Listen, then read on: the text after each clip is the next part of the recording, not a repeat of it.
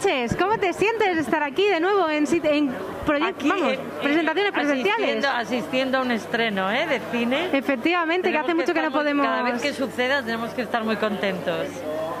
Bueno, el proyecto que vas a ver en pantalla trata sobre libertad.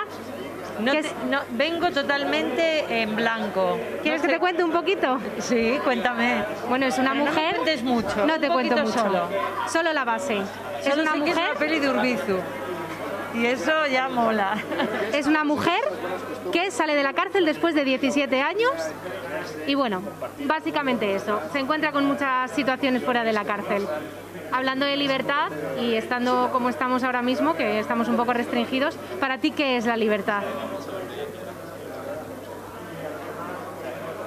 ¿Qué es la libertad? Madre mía, qué, qué pregunta. Pues una aspiración, supongo. Un estado mental. Voy a aprovechar un poquito para preguntarte sobre Merlí, Muy bien. que está a puntito de estrenarse nueva temporada. Sí. ¿Cómo sientes eso- esos Con nervios, muchas ganas de que, de que lo vea la gente, que para que siempre que grabamos para eso lo hacemos, ¿no? Para que el público lo vea. Entonces, como en el caso de una serie o de una peli, eh, lo grabas, luego hay todo un periodo de montaje hasta que se estrena y tal. Eh, estás esperando ahí a que el público, que es el último eslabón de la cadena y el más importante, ¿no? Eh, lo disfrute, así que con mucha ilusión y después de este año tan bueno y de- del año pasado y de este año que, que seguimos en pandemia, de esta situación tan difícil, yo, que- yo por lo menos lo vivo todo mucho más, con más intensidad y más a flor de piel. ¿Se va a sentir tu personaje por fin un poquito libre? Eh, bueno, ya sabes, eso es lo que te digo, eso es un estado mental. Yo creo que la Bolaño es una tía bastante libre.